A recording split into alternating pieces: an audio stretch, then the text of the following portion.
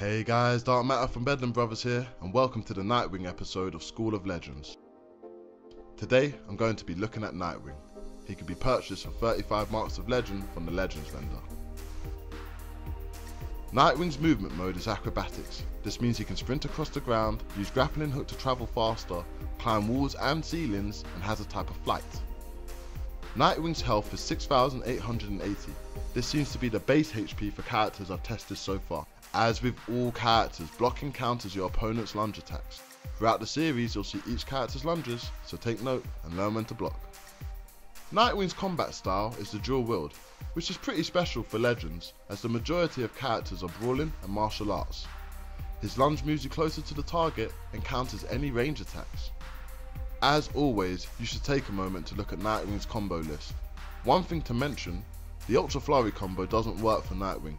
You can press the buttons and you will do a combo and the last hit will lunge an opponent, but the animation and associated damage doesn't correspond to the actual combo. For comparison, here's me using the Ultra Flurry combo. As you'll notice, the spinning animation and damage is completely absent when Nightwing uses it. Because dual wield combos can execute a lunge or block break at any time, this makes it a hard weapon to predict and gives you a wide variety of ways to trick your opponent. As an example, you could throw out a 6 hit combo, making your opponent thinking it's time to block. At that point, use your range attack to block break. On that note, there's two combos I'd like to point out. The first is called Stunning Swipe, which can activate a lunge on the 4th, 5th and 6th strike that stuns and deals decent damage. The next combo is called Dual Flurry, which can also activate a lunge on the 7th, 8th and 9th strike for considerable damage. These combos can be clipped at any point, cutting the animation short, allowing time to get started on the next attack. It is important to note that these combos can be blocked. With dual wield, tapping range attack will block break a blocking opponent and is still vulnerable to being lunged. The held range attack for dual wield can be held indefinitely which can also block break. This attack is also susceptible to being lunged. It is important to vary between melee and range attacks in order to trick your opponent and make sure you win the counter for your immunities.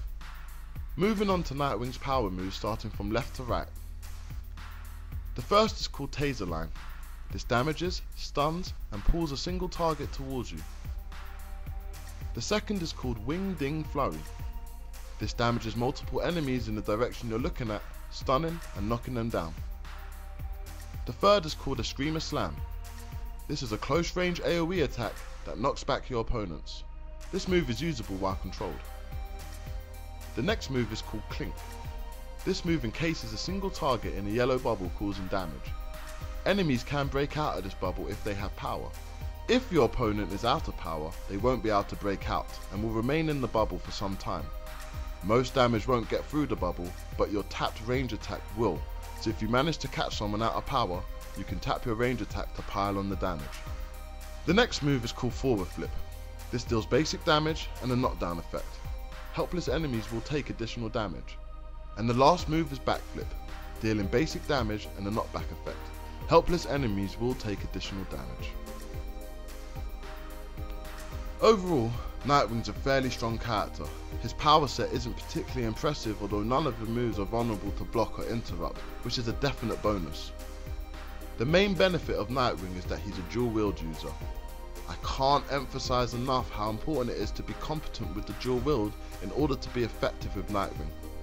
If you can master his versatile melee style and clip his relevant powers, you can get off big damage and be a fierce Legends player. So why not give Nightwing a go and leave a comment to let me know how you got on. Until next time, stay legendary.